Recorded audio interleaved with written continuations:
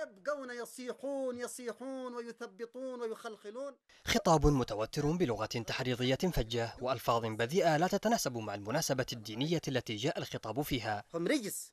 ذهب زعيم الميليشيا بعيدا هذه المرة وهو يعدد الجهات التي تمثل تهديدا لجماعته وسلطته مرسلا أوامره في كل الاتجاهات للتصدي لهذه الفئات وهؤلاء الأعداء الذين يصفهم تارة بالقذرين الملعونين وتارة بالخونة المسوخ.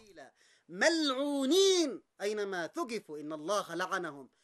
بدأ زعيم الميليشيا كالعادة مع من أسماهم التكفيريين الذين جاءوا لإخراج اليمنيين عن مذهبهم الأصلي موجها خطابه لمن يعتقد أنهم أتباعه من سكان المناطق التي لا تزال تحت سيطرة ميليشياته وحليفه المخلوع صابا مزيدا من الزيت على نار الطائفية والمذهبية التي اشعلتها حروبه منذ انطلاقها.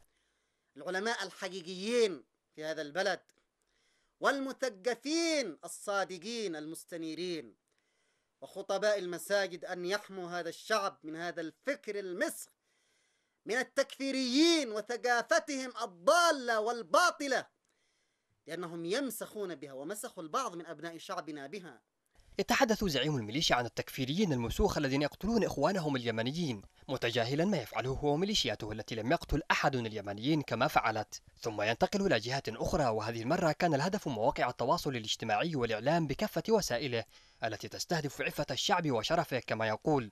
وهي خطوة تنبئ عن تحرك جديد لإغلاق هذه المواقع بعد جملة من التضييقات والحجب التي طالت الصحافة الإلكترونية خلال العامين الماضيين.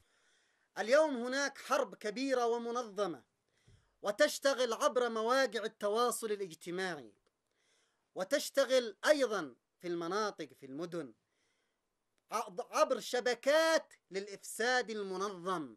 شبكات منظمة تسعى إلى إسقاط الشباب والشابات في الدعارة.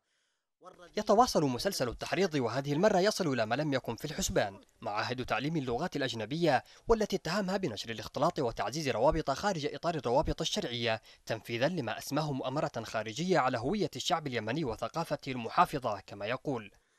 داخل هذه المعاهد يبدأون ببرامج تساعد على الاختلاط الفوضوي وتعزيز الروابط خارج إطار الضوابط الشرعية. ثم تزداد هذه الضوابط ثم يدخلون إلى المسخ تحت العنوان الحضاري والتغريب لشبابنا وشاباتنا.